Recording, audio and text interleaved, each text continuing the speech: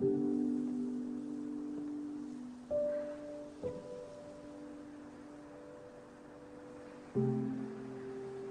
왜 여기 있어?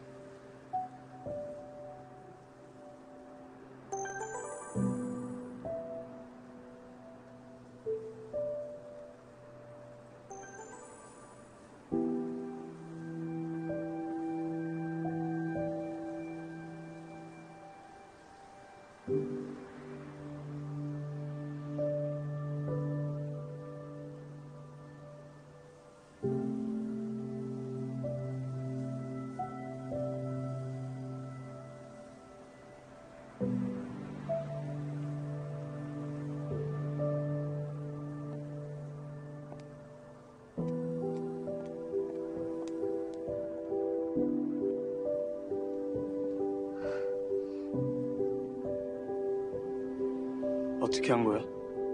말했잖아. 이게 내 의지라고.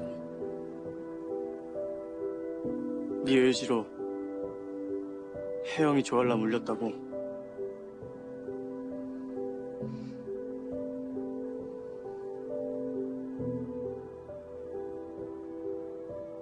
그러니까 이게 네가 말한 선택이라는 거지.